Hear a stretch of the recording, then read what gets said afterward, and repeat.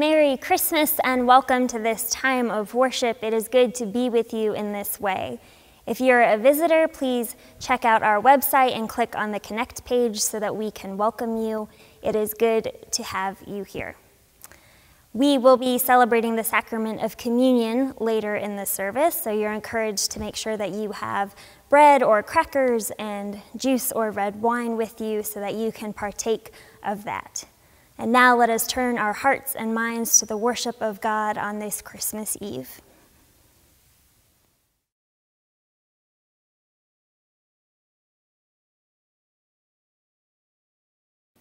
The people who walked in darkness have seen a great light, and those who lived in a land of deep darkness, on them light has shined. Tonight is Christmas Eve, and tomorrow is Christmas Day. We proclaim that Christ is the light of our world as we now light our four Advent candles of hope, peace, joy, and love. Finally, now we light the Christ candle, which is in the center of our wreath.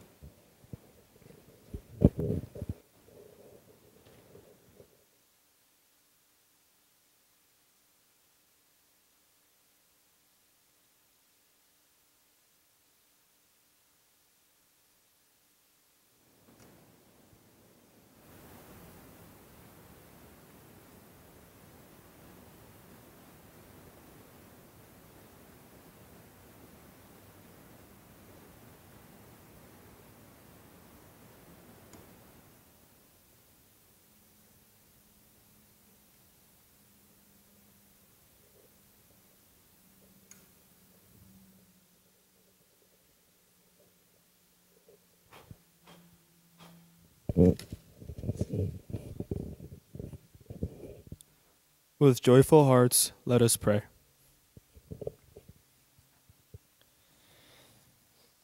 Glorious God, we sing with joy of your salvation in Jesus Christ. God of shepherds and angels, Mary and Joseph, Nazareth and Bethlehem, we open our hearts to welcome you. With all we do and say and are, we declare your glory and bless your holy name. For you are the wonderful counselor, mighty God, everlasting Father, and Prince of Peace. Glory and power and honor and might be yours now and forever. Amen.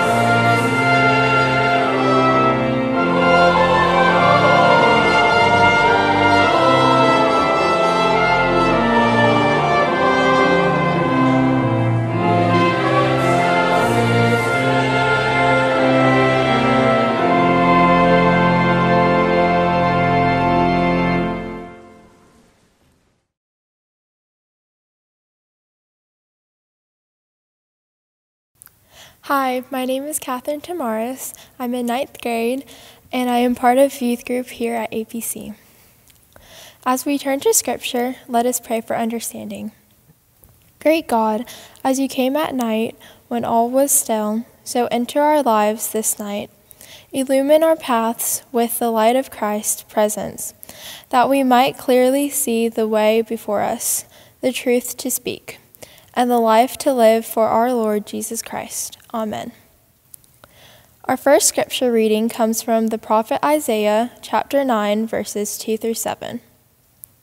The people who walked in, the, in darkness have seen a great light. Those who lived in a land of deep darkness, on them light has shined. You have multiplied the nation, you have increased its joy. They rejoice before you as with joy at the harvest as people exult when dividing plunder. For the yoke of their burden and the bar across their shoulders, the rod of the opposer, you have broken as the day of Midian. For all the boots of the tramping warriors and all the garments rolled in blood shall be burned as fuel for the fire, for a child has been born to us. Sorry, I lost my line. Authority rests upon his shoulders, and he is named Wonderful Counselor, Mighty God, Everlasting Father, Prince of Peace. His authority shall grow continually, and there shall be endless peace for the throne of David and his kingdom. He will establish and uphold it with justice and righteousness from this time onward, forevermore. The zeal of the Lord of hosts will do this. Here ends the first reading.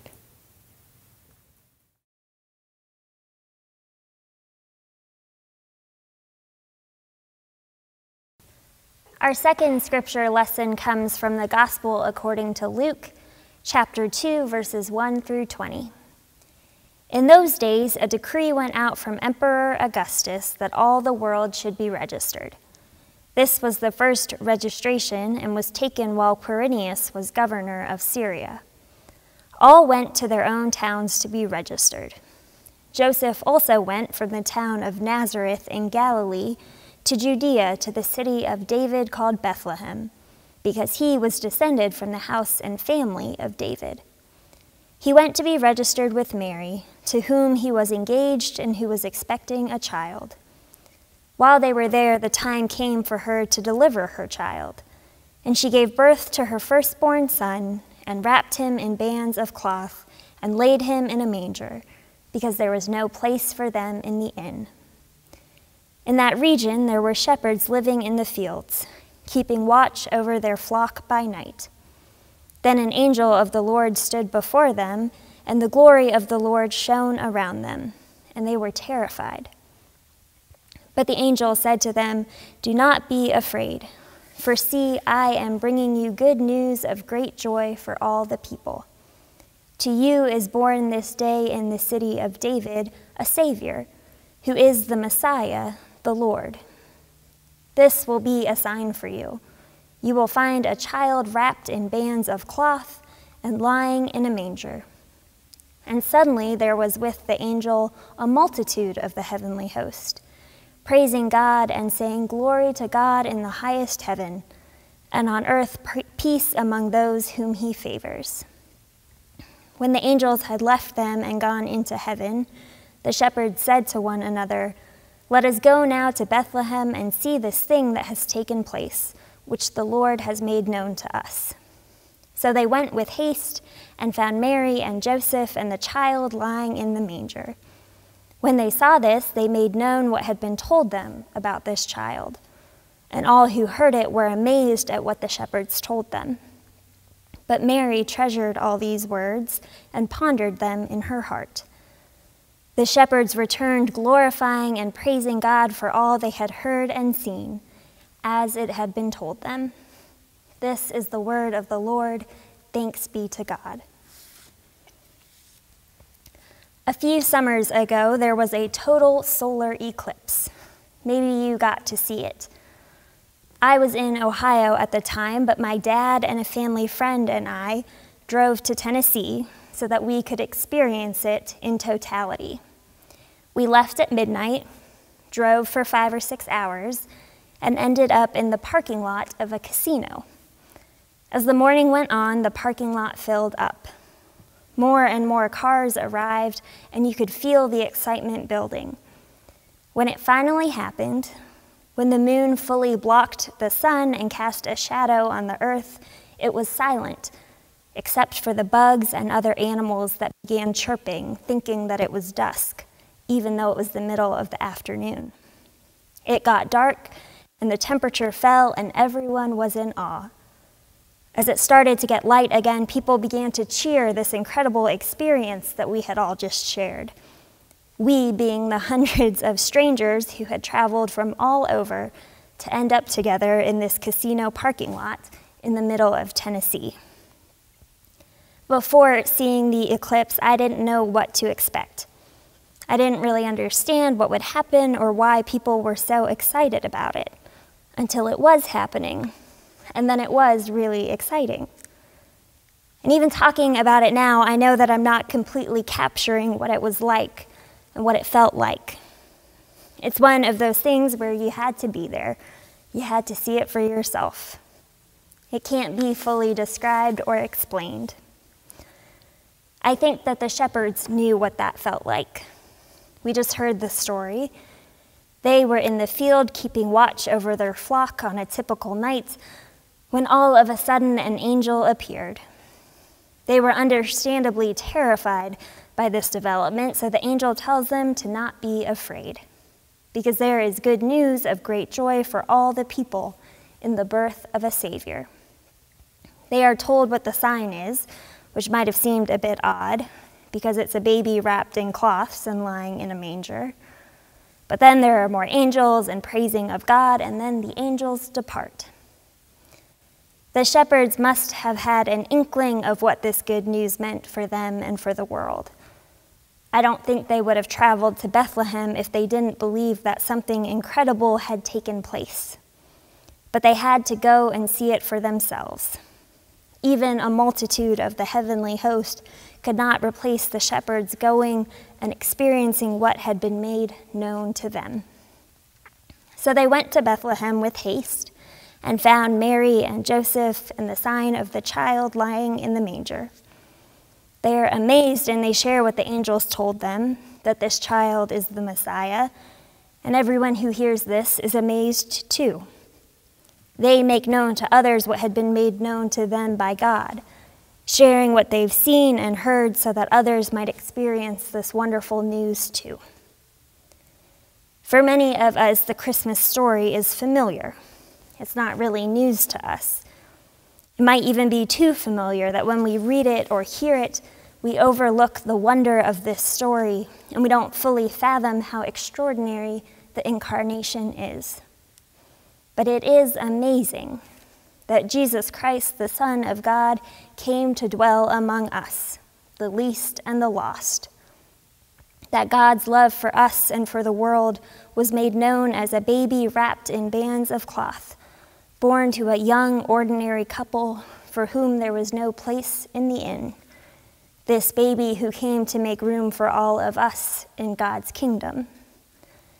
God's sign of promise and hope was not, was not a mighty warrior or a powerful king, as the people who were longing for a Savior were expecting, but a newborn child lying in a manger. Because God does not operate according to our expectations or our understanding of power.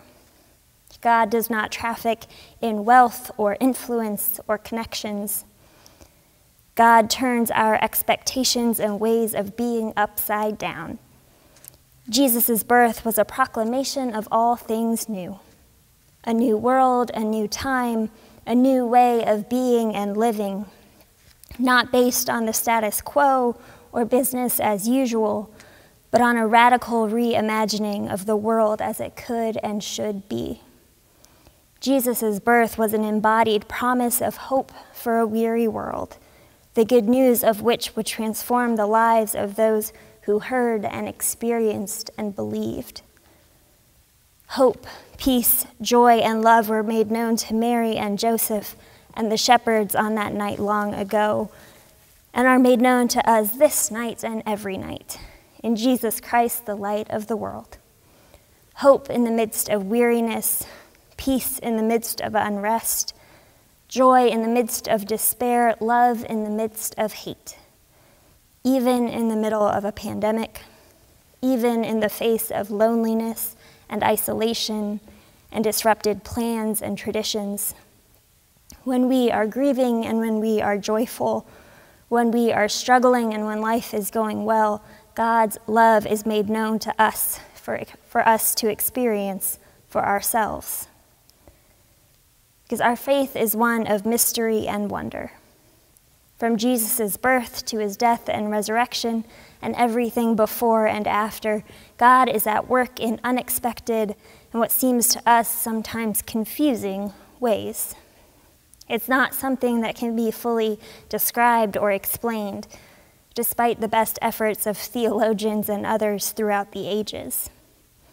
It's not that having someone talk about their faith or reading the Bible on your own or even listening to a sermon can't be moving and powerful. But the Christmas story shows us, in all of its awesomeness, that we have to experience it for ourselves it shows us what is real and tangible about our faith.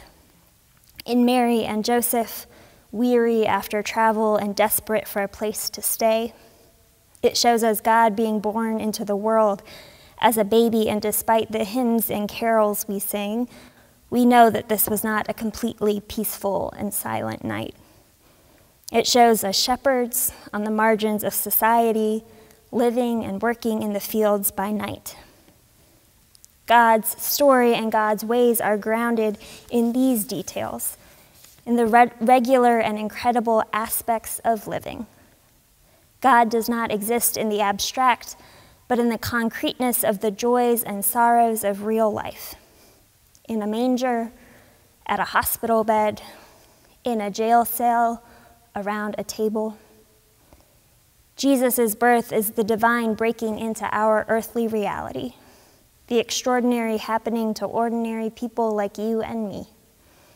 Not the political elite, not the wealthy and powerful, but to a young couple and to some shepherds who experience something amazing and make it known to others.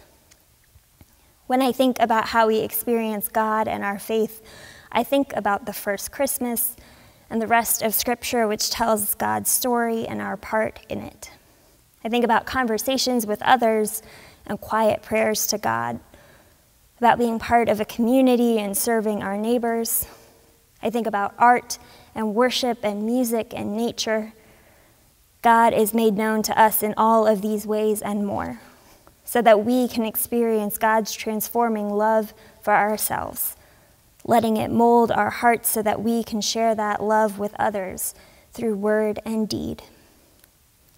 Over this past year, we have witnessed the very best of our shared humanity and been confronted with the depths of our common brokenness when love and empathy and compassion have been lacking. And it is into this hurting world that God comes to dwell, comes to bring light, comes to be made known to us. I know we change the clocks every year, but I think the sun has been setting even earlier these past couple months. The nights feel longer and darker, so maybe you put up your Christmas decorations earlier than you normally would. Maybe you put up a few more strings of lights on your house. You're watching more Christmas movies and eating more Christmas cookies. Since I'm working mostly from home, the lights on my tree are on all day long. Because we are all longing for light at the end of this seemingly unending year of fear and tragedy and injustice and hardship. We are weary from traveling through these past nine months and maybe even before then. And while we can start to see the promise of effective vaccines and the ability to gather safely with loved ones in the future, we know that the road ahead is not without challenge. but this is where God exists. God is made known to us in a baby wrapped in cloths and lying in a manger. This is the world that God came to dwell in, the reality of our lives that God came to be part of. God is present in the majesty of the stars and angels singing praises, and in the fields with the shepherds and the sheep. In the big moments and the small ones, however unexpected they may be.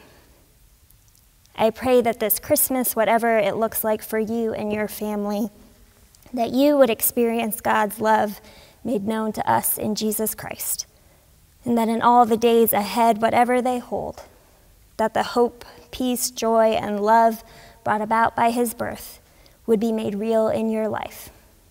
Amen.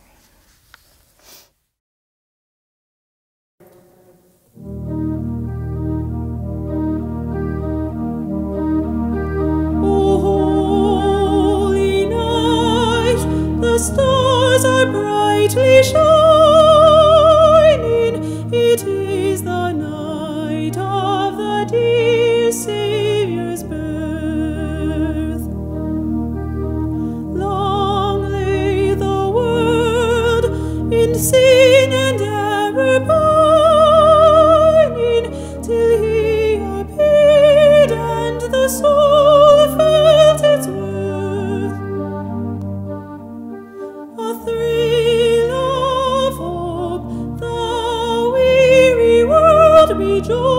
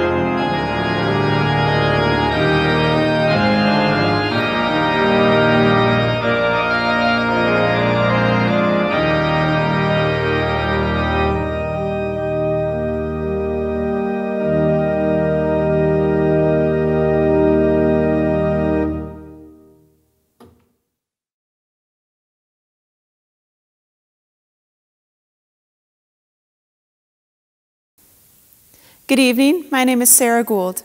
In sending us Jesus to be born of Mary, God's Word became flesh, and we have seen a new and radiant vision of God's glory. On this night, as we celebrate the gift of Jesus' birth and prepare to live into that good news, we are invited to respond and give back some of the gifts that we have to share because of God's goodness. So let us give joyfully and generously, praying that what we give will be used to further God's work here in this place and out in the world. There are several ways you can give back. You can go to the church's website at alpharettapres.com and click on the Give button. You can text the keyword Alpharetta Prez to 73256 or you can mail a check to the church office. The address is on the website. Thank you for your gifts and the support you give to APC's ministry.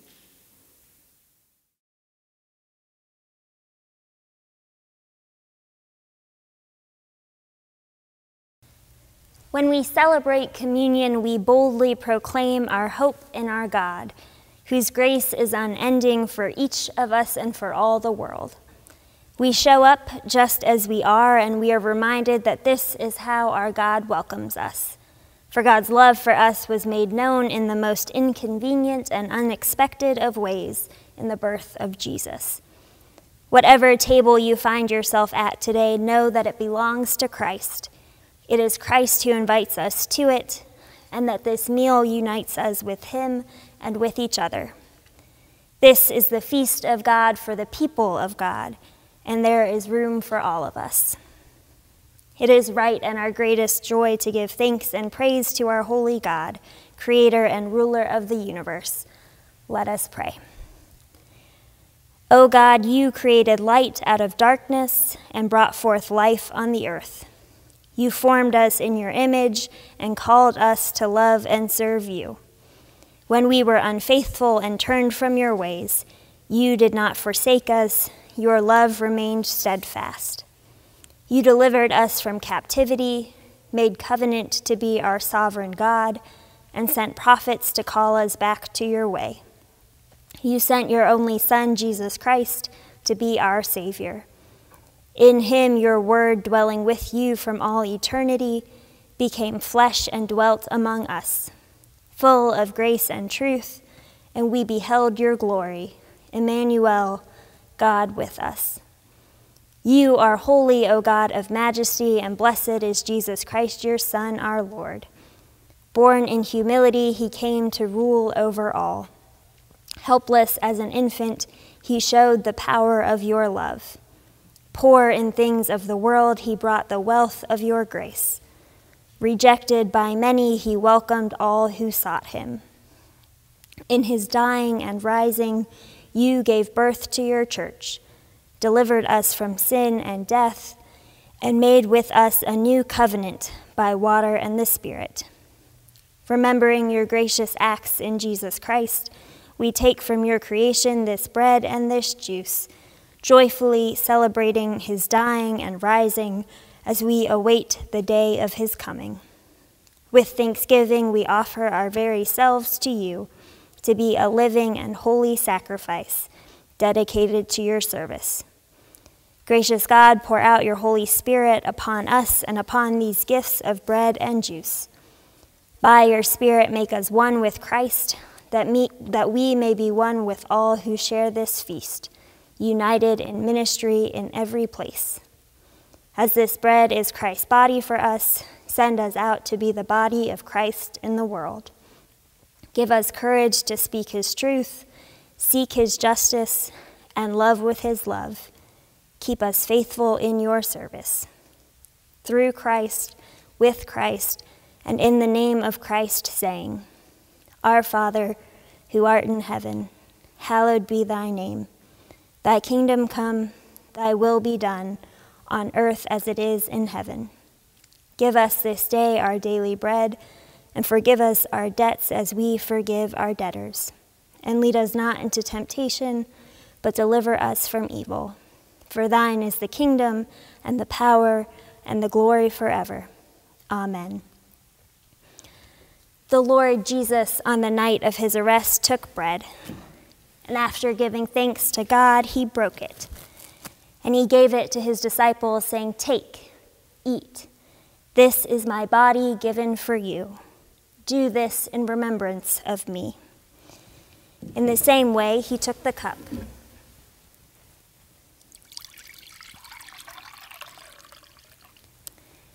He said, This cup is the new covenant sealed in my blood, shed for you for the forgiveness of sins. Whenever you drink it, do this in remembrance of me. For every time you eat this bread and drink this cup, you proclaim the saving death of the risen Lord until he comes. Friends, I invite you now to share of the bread and the cup in your home, giving thanks for the gift of God's love and grace made known to us in the birth, life, death, and resurrection of Jesus Christ. This is the bread of life and the cup of salvation for all of God's people, and that means each of you. Alleluia and Amen.